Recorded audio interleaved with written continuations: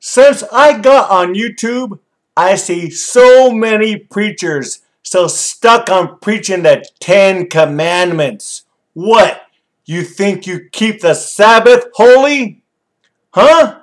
Do you not work nor cook any food from Friday night to Saturday night? The Sabbath is not for Christians. The Sabbath was for Israel only. Exodus 31, 12 to 17 proves that. Come on, preachers! Learn the New Testament Bible to know what sin is. For whoever shall keep the whole law, yet stumble in one point, he is guilty of all. James 2:10. Now, it is not needed to know what sin is in order to get saved. The Spirit of God that makes you born again. He knows what sin is and what you need to be set free from. God will clean you up from any sin that you're a slave to. But way too many preachers are stuck on preaching the Ten Commandments. Now, here's what sin is. Do you not know that the unrighteous, that's sinful people, will not inherit the kingdom of God? Do not be deceived, neither fornicators, that's people who indulge in sexual intercourse outside of marriage, nor idolaters. That's much more than people who worship a false god because a person can make an idol out of anything. Colossians 3 5 even says that covetousness is idolatry, nor adulterers. That's people who are unfaithful to their marriage partners, nor homosexuals, nor sodomites. That's another name for homosexual, an abuser of oneself with mankind, or one who lies with a male as with a female, so that's a bisexual. They're not going to heaven. Nor thieves. That's not only people who steal things, but the name is also transferred to false teachers who do not care to instruct people, but abuse their confidence for their own gain. So that's a tithe teacher who's conning you out of your money. Tithing has been annulled. Hebrews chapter 7 proves that. Nor covetous.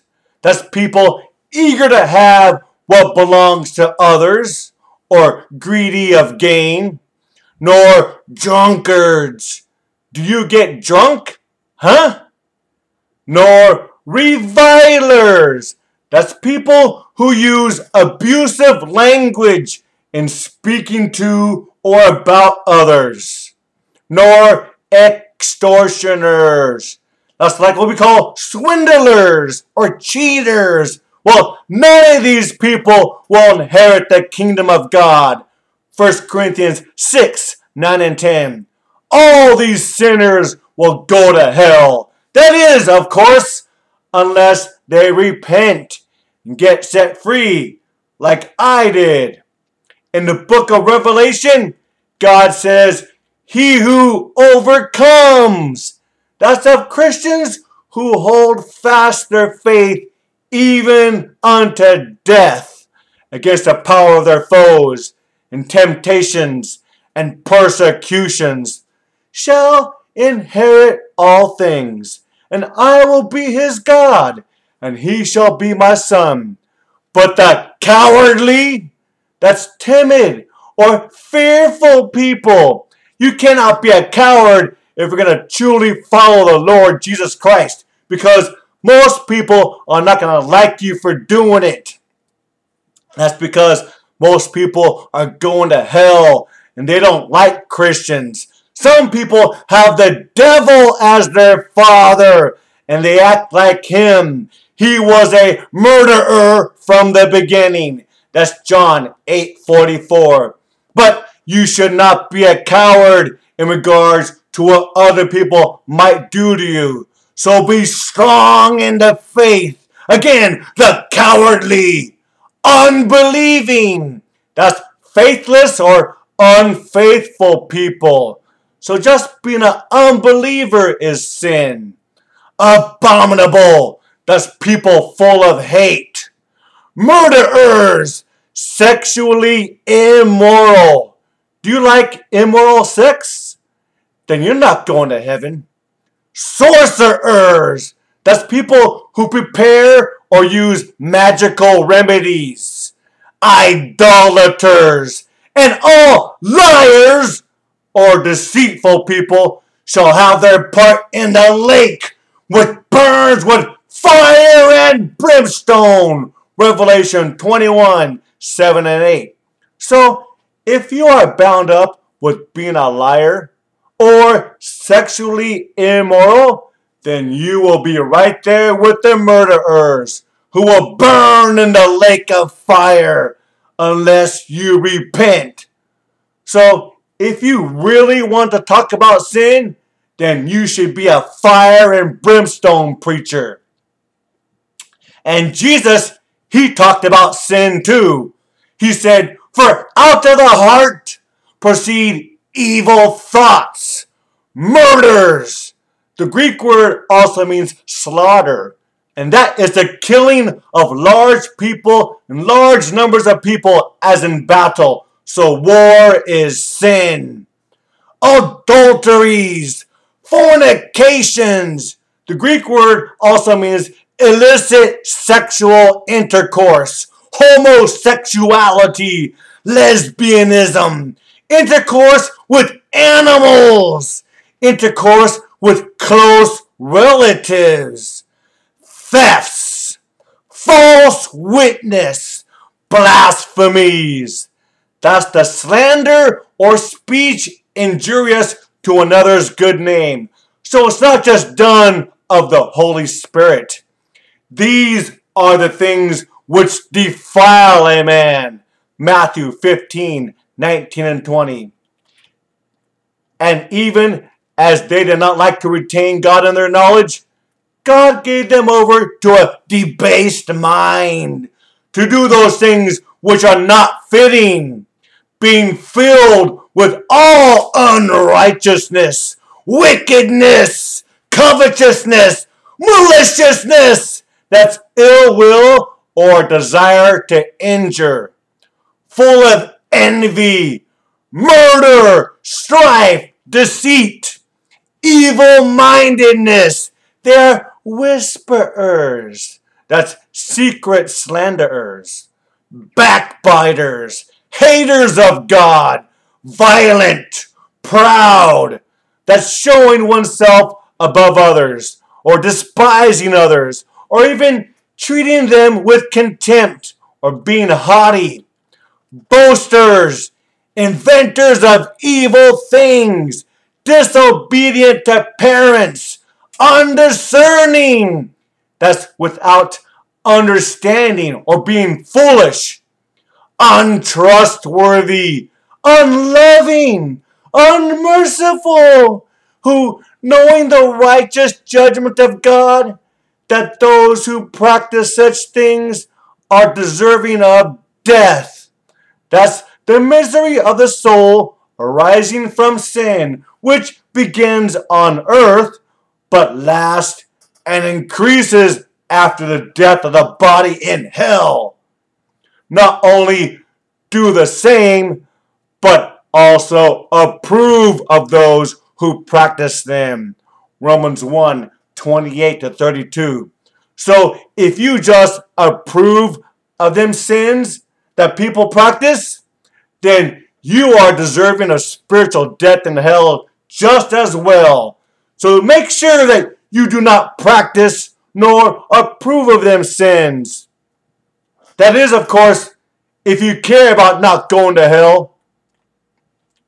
Now, another list of sins that will make you die spiritually, then take a look at Galatians 5 19 to 21 and make sure that you are not bound up with nor practice any of them.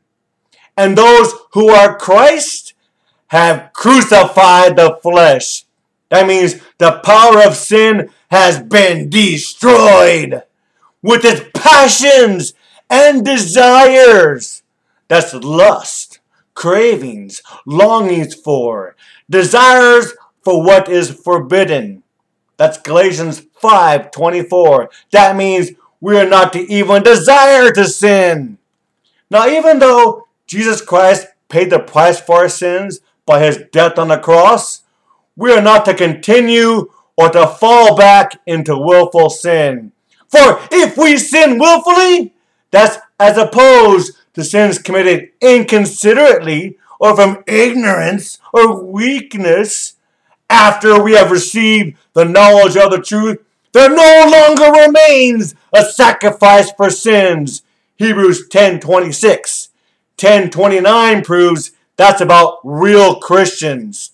So be strong in the Lord, brothers and sisters, because you should have the Holy Spirit teaching you what is right, what's wrong. And now you've also heard the scriptures of what sin is.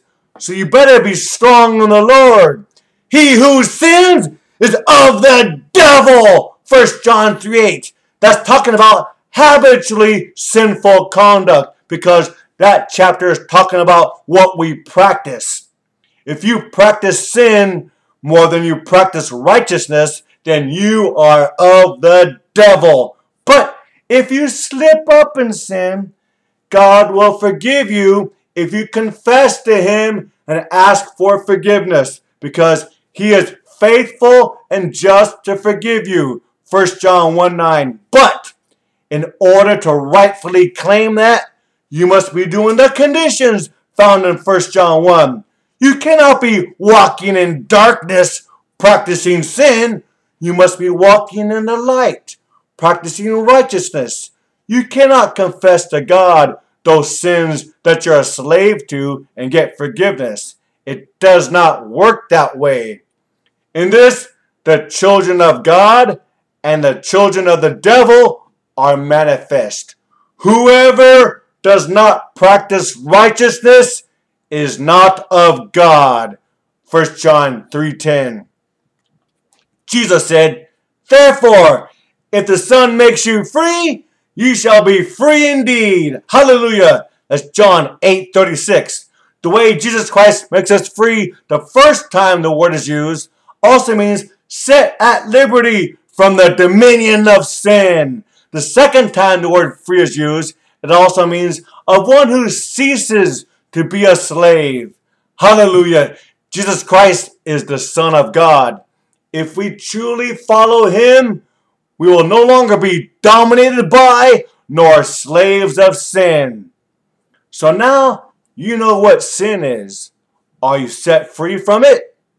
Now, having been set free from sin and having become slaves of God, you have your fruit of holiness and the end, everlasting life. That's Romans 6.22. That means you do not have everlasting life at the end until you are set free from sin now while living a holy life. So, are you holy? Huh? You got to be born again. When you're born again, you live a holy, righteous life. May God bless you. Amen.